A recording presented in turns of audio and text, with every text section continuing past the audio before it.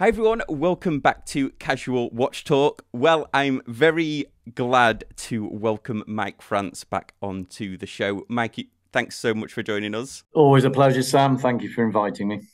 I feel like we spoke recently, but since we last spoke, the there's been two British prime ministers. So by my calculation, I've not spoken to you for eight years. Uh, well, hang on, I, I, I, didn't check before I came on. There maybe have maybe been three by now.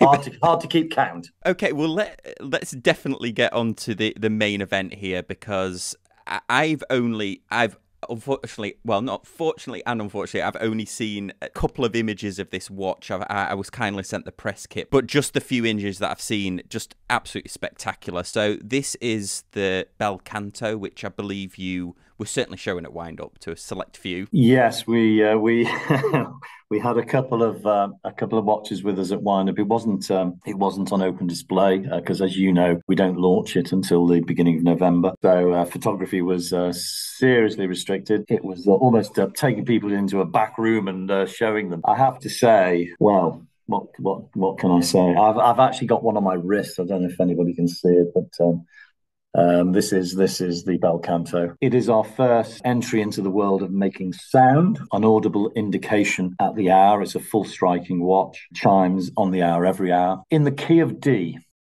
which is important. Um, it's the okay. bel canto translates, as I'm sure you know from the Italian, into beautiful singing.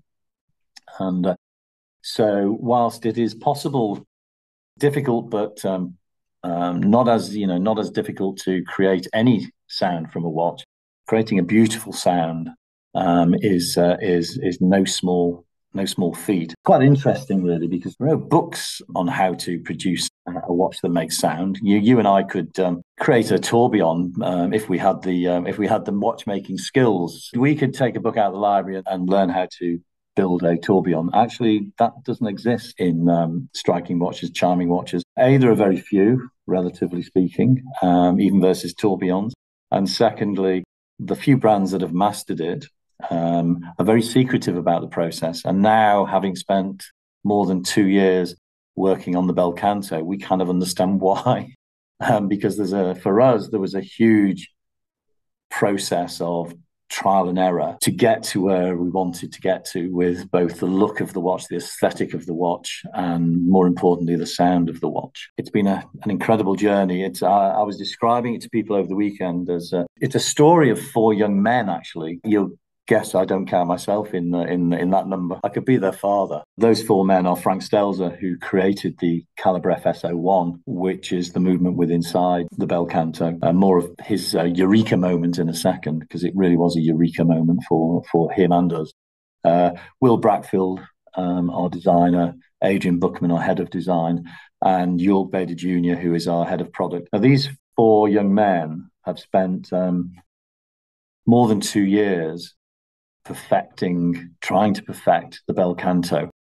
Um, at times a labor of love, at times a labor of hate. I mean, they um, they've they've had some serious battles because not only did we want to produce a, a watch that chimed, we wanted to take the interesting, most beautiful parts of that and put it above the platine. Sounds easy to do, it's not. And then even if you could take it above the platine, locating those most important parts so that they look beautiful to the wearer is even more difficult. And of course, that leads to huge tensions between design and engineering because, you know, every time they requested that even a screw moved X millimeters or was hidden behind the platine, which often was the case because what we wanted to do is take a lot of the not so attractive elements of any movement and put it underneath the platine, then every time those discussions took place, it meant that poor Frank and the guys would have you know, literally days and weeks of work to try and accommodate that aesthetic requirement. But what they have ended up with, I think, is something very important. It's certainly very important for us. Uh, you'll see um, when we launch the watch, we're calling one of the these sort of marketing lines, if you like, is is is that we've chosen is our finest hour, and actually, I think this is exactly what it is. It is uh, even even in some ways above and beyond uh, the creation of Calibre SH21.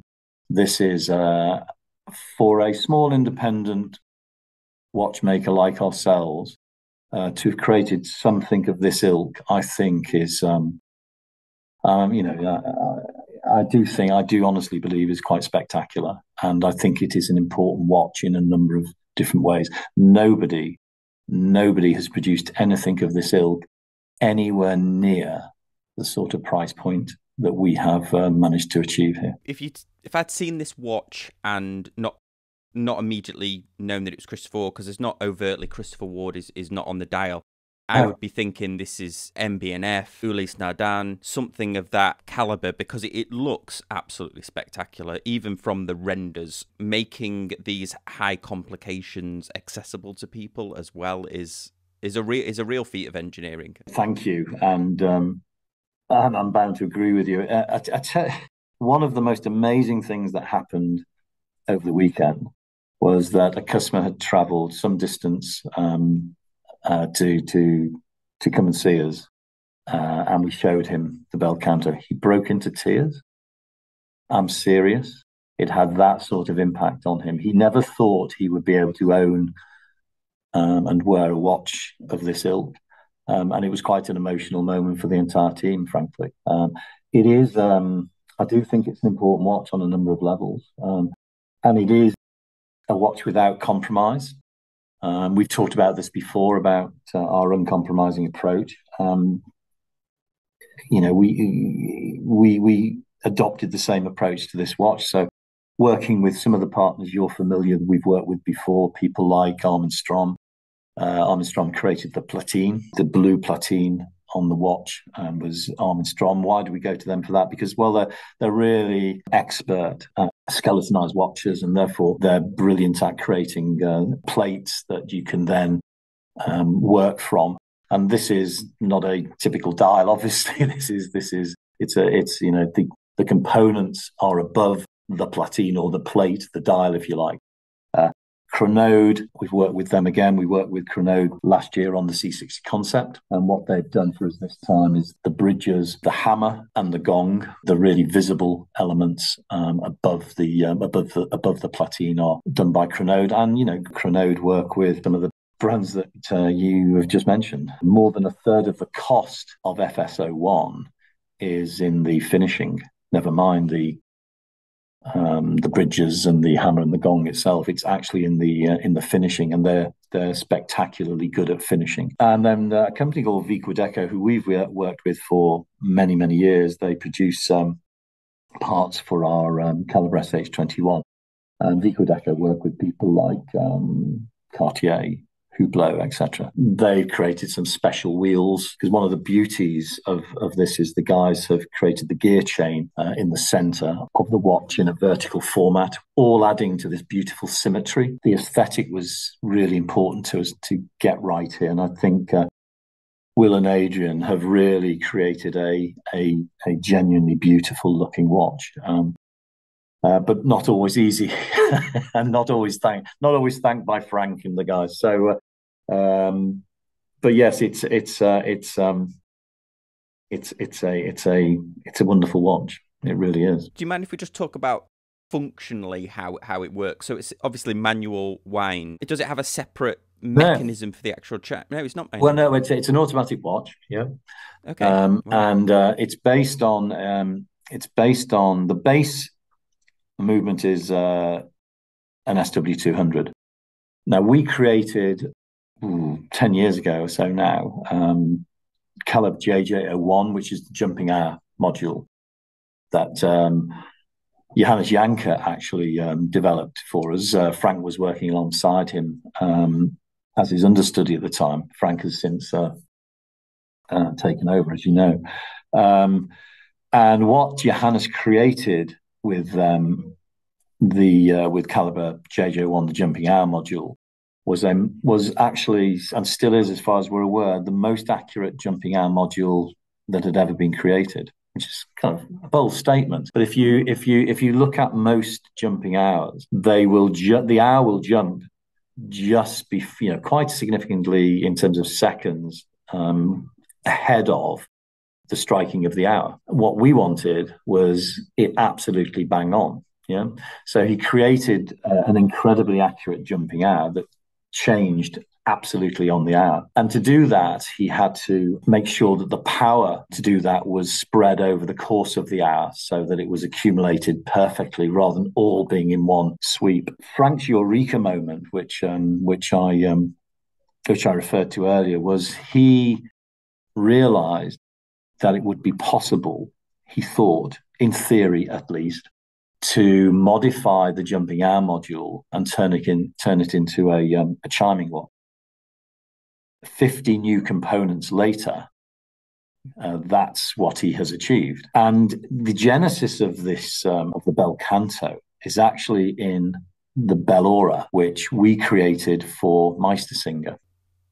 Oh wow! Um, I'm not sure everybody understands that we we we produce most of Meistersinger's watches for them. Um, oh no, I didn't know that. Yeah, no. probably 95 percent of all Meistersinger's watches are ours. Interesting news for some people who don't know. And uh, we created the Bell Hora for them, which was the striking watch. Now, which is a great watch. The problem with the Bell Hora is not a problem, but for us, we wanted to show the striking mechanisms. We wanted to show the hammer. We wanted to show the gong. We wanted above the platine. Meistersinger put a classic Meistersinger dial over it. And in the original form, um, the Bell Hora movement is not an attractive movement. It doesn't have to be because it's going to be hidden. And that's the journey that we went on to um, take our Bell Hora movement, if you like, into the bel canto, which was this tension between engineering and design to create the most beautiful watch I think uh, we've ever created. And so that was phase one. The phase two is instead of being inside a stainless steel case, we learned early on that the best possible case for resonance of the sound, which is, as I say, really important to us, um, was to use uh, grade five titanium. So uh, the case is grade five titanium. Titanium is denser than steel and therefore creates a greater level of vibration and resonance. So you get a much better sound out of it. And actually, although nobody will see this, the work that the design team put into inside the case to create the optimum cavern to generate the optimum amount of vibrations was just as important and time consuming as the the variation of the light catcher case that we um, that, that, that adorns the the outside of the watch. So it was um, there's a lot of things here that most people will never get to see, which uh, uh, all contributed to this the creation of this beautiful, beautiful uh, sounding uh, chime, uh, which, as I say, is in the key of D.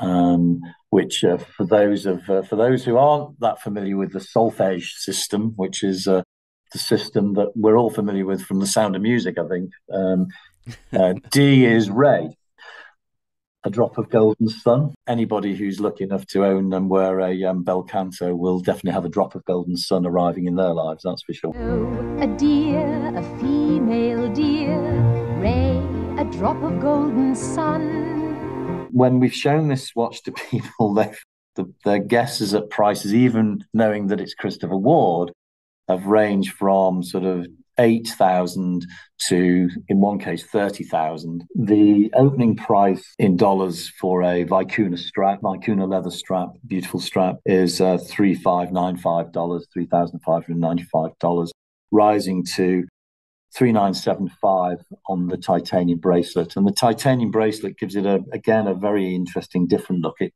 sportifies it a little bit for, uh, you know, below $3,600 uh, at entry level. Um, you know, as I, as we say earlier, Sam, uh, nobody has come anywhere near anywhere near this sort of um, quality of watch of complication and finishing ever. And that's why I think it is an important watch. And we all look at, you know, MB&Fs, you, you know, we look at legacy one and twos and 101s and we all, wow, you know, and these are 50,000, 80,000 pound um, watches. And, uh, you know this is this is in the stratosphere isn't it for most people and out of most people's reach. Now i'm not suggesting that you know three and a half thousand dollars is cheap. It's not. It's um, and it would still be out of many people's um, reach.